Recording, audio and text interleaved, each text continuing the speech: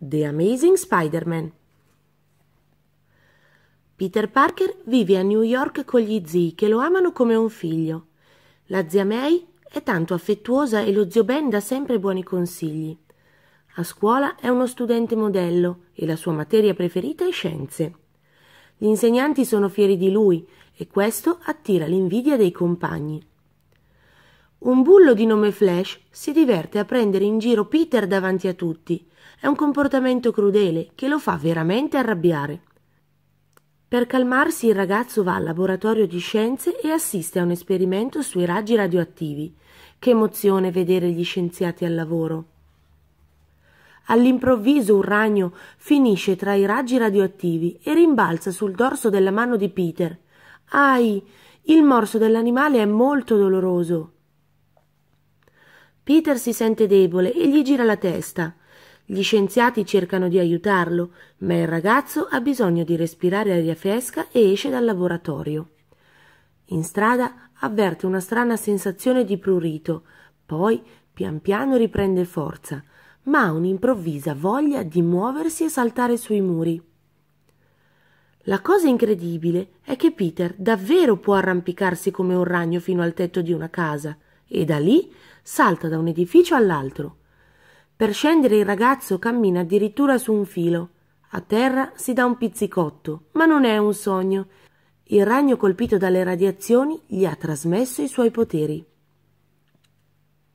Incuriosito da una locandina che raffigura un incontro di wrestling, Peter decide di mettere alla prova la sua forza e sale sul ring.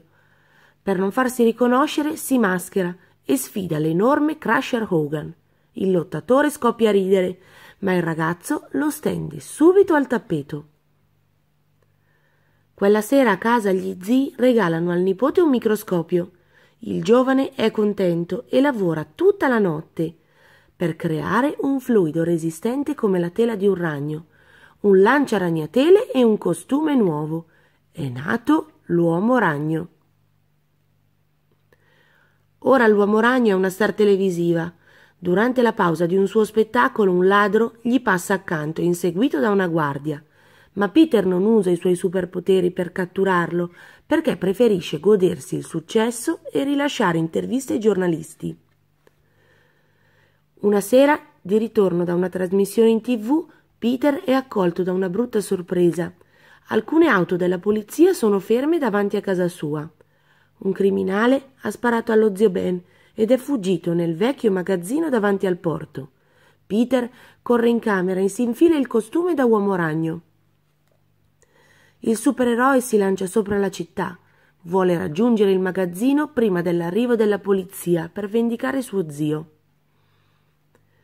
Il furfante è stupito di vedere l'uomo ragno piombargli addosso dall'alto, ma più grande è la sorpresa di Peter quando riconosce il ladro.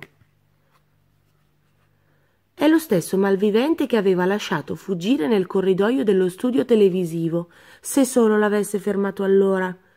Con un balzo l'uomo ragno si scaglia contro il bandito e lo atterra con un pugno. Quel farabutto non farà più del male a nessuno.